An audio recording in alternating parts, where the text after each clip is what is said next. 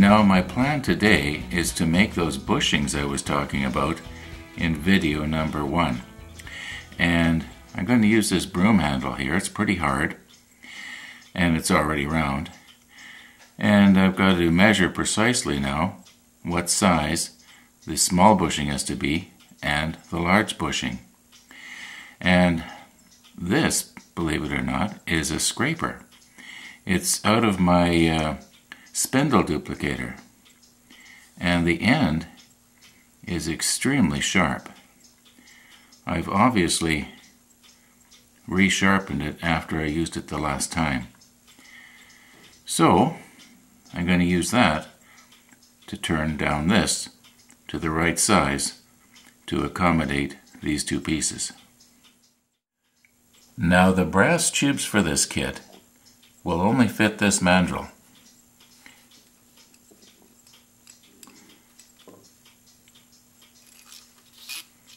Okay, now I believe it's a quarter inch.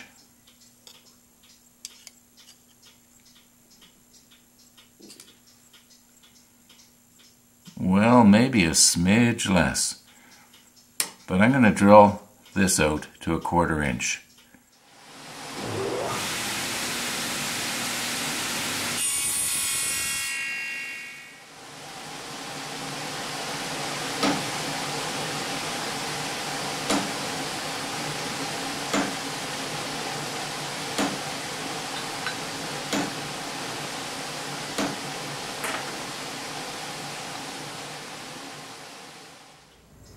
I should be able to take the average of all of these little crisscross markings and find the center point.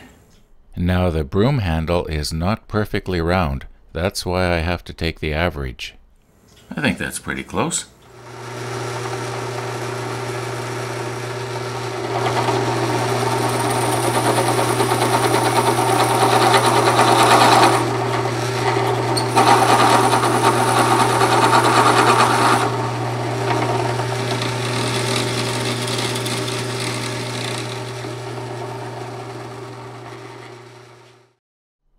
Now, after all the effort I went to to make sure that I was going to get the hole in the right place, I screwed it up somehow. Now I know I could have cut off another piece of broom handle and done it the right way, and you would have never known the difference. But, as I've said before, I like to keep these videos honest. And as you can see here, there's plenty of wood on the lean side of that hole. I don't need to worry about not having enough wood to turn down there.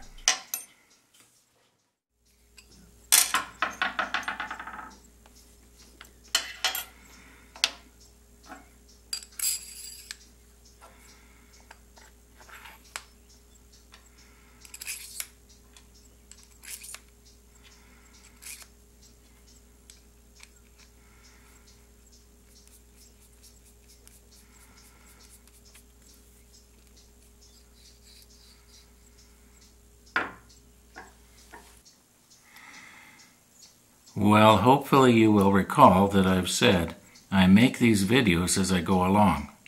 And there's been another change in plans here. This cutter that I was planning on using, I'd have to shim it up in the machine that I'm planning on using with it. Whereas this cutter is already pretty sharp and I can angle it so I can use this point and it will already be the right height. As you can see, this one here is slightly higher than this one. You'll see in a minute what I'm talking about.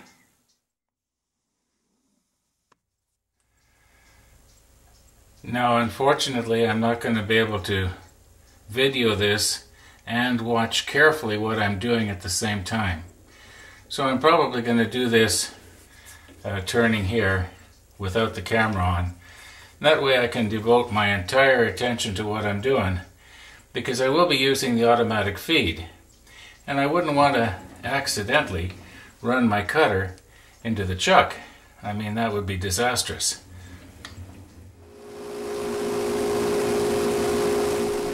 Now this is the first time that I've used this machine for wood and I can't see why it shouldn't work. The only problem I can see having here is if I don't make sure I get rid of all the sawdust. This machine is rather greasy, and the sawdust is going to stick to it. Be hard to clean up. Well, what we've got here is we've got this piece slightly bigger than the diameter of this, and this piece here is slightly bigger than the diameter here. And now all I have to do is just cut these in half, and also right there, make four pieces out of it, and we'll see if it'll work.